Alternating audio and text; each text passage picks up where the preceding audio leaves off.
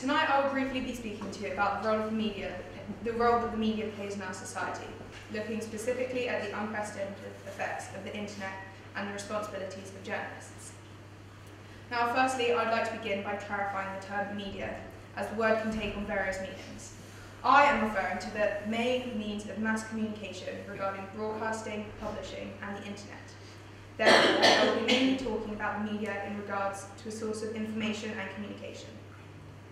Now, the media is an incredibly powerful tool and has the potential to sculpt our social and political beliefs, and we can see through history how the media has often been used as a weapon to evoke political change. Propaganda, like this, has been found as far, dating as far back as 1515 BC, with primitive cartoons showing the rise of the Persian king Darius the Great to the throne. In a more modern context, we can see how the rousing and patriotic propaganda such as this um, helped Britain and Allied nations win both the First and Second World War, with this particular example created during World War I.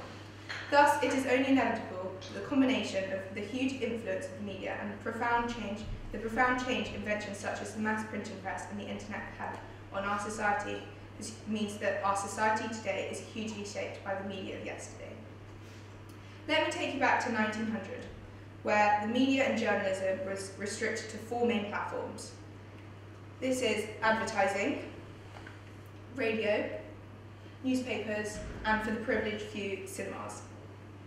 The media landscape was slow, limited, and fairly inaccessible, with 78% global illiteracy imp impending, impeding much global journalism and understanding.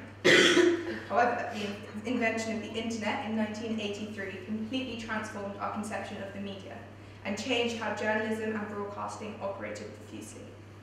And the more addition, the more recent addition to the media landscape is social media, which now plays a major, role in the media industry. I'd like a show of hands those of you who think they use social media on a daily basis. Pretty much most of us. Now, the statistic website Statista said that in two years' time, a third of us will be social media users. This figure trumps the estimate that almost a, seven of us, a, seven of, a seventh of us rely on the radio as our primary news source, and only a quarter of us now use formal newspapers. Hence, this is why I am focusing on the internet so specifically, due to the sheer leverage and gravity the platform has on us today. There are many pros the rise of social media has had in broadcasting and journalism. For example, journalists now have increased access to content and information, making news coverage more comprehensive and thorough. As a society, we arguably have more knowledge and informity than ever to information, and supposedly we are more aware of the world around us. Lastly, social media has somewhat informalized broadcasting, allowing more creativity and ingenuity in the industry, ultimately making content more digestible and appealing. However, there are many points of concern regarding the effects social media is having on our lives, where it can be seen to be both evasive on our personal lives and also perhaps more concerning on the political climate. I'm sure most of you probably recognise and possibly use the majority of these sites, um, and which you trust and give your personal data to. Now, I'm also sure most of you aren't aware of sites like this one, this one, or this one, who also have access to such information. These companies are called data harvesters and are often described as profit-making propaganda machines. Effectively, a data harvesting company is fairly self-explanatory. A concept, a concept where firms like these buy information from companies like these, um, and this is analysed so that your shopping, travel, or even political habits can be targeted and often altered by specifically designed information. Take the Cambridge Analytica scandal in March 2018, where an ex-employee called out the data harvesting firm for its links to the 2016-17 US presidential campaign. The company was investigated and found liable to a $71 billion plus lawsuit after it purchased information from Facebook and used this to create specifically designed content which would encourage US, US users to vote for the Trump campaign. You may ask how this occurred and why it is so ethically and legally despicable. And this is mainly as the methods the companies are using are worryingly subtle and simple. For instance, quizzes that I'm sure many of you have participated in, such as what type of sandwich or what type of dog are you, and even the stranger and more curious amongst you may have even taken part in a what piece of IKEA furniture are you, which I did do, and interestingly, I am this floor lamp, I mean, I dispute the resemblance personally. All jokes aside, your response to questions like these allow companies to build up a psychological profile of you, in turn allowing them to make assumptions on your political leanings. This is a useful service to some, specifically for shopping, where Amazon recommends will interest you into buying items due to complex algorithms seemingly trivial. However, when such messages begin to influence one one's political habits, the practice turns utterly immoral and threatens democracy itself. Now, I'm not suggesting such software could turn socialists into capitalists or convince a Democrat to vote for Trump. However, it is still important to consider the possibility this content may have led to a weaker voting turnout or just changing social habits. I want you to recognise how inconspicuously these companies can access your data with political campaigns or marketing, with where which two political campaigns or marketing firms can be gold dust. Many economists are now saying that data has replaced oil in regards to being the most valuable resource we have. And although I personally disagree with this notion in many respects, I do believe it holds a degree of gravity and significance.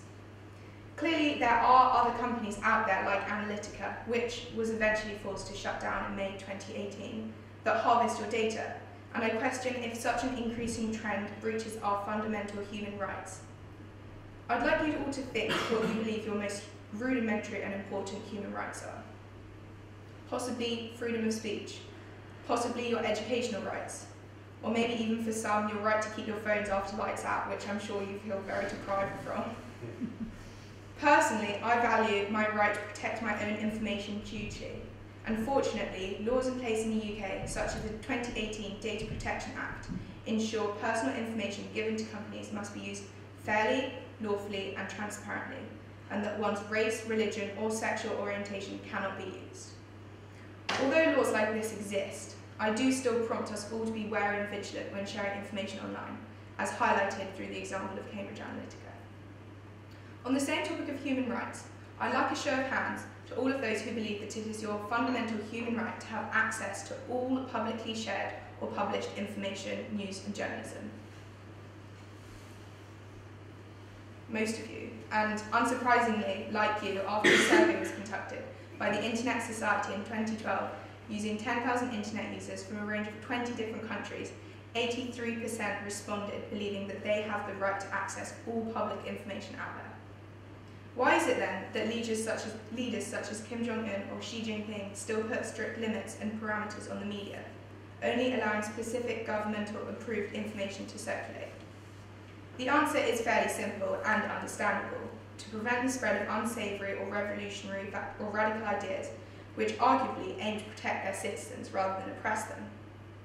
Surely if governments are able to decide on such fundamental and drastic laws, such as the death penalty or your drinking age, they also have the right to control the media and broadcasting. Now, don't worry, I'm not agreeing with these questionable, unethical, and perhaps autocratic beliefs, rather prompting you to consider the argument for censorship over freedom of speech. As I, am, as I am, I'm sure many of you do also, believe that the media should have complete autonomy and freedom, as this allows a healthy democracy where ideas can spread, which often leads to much needed social and political change.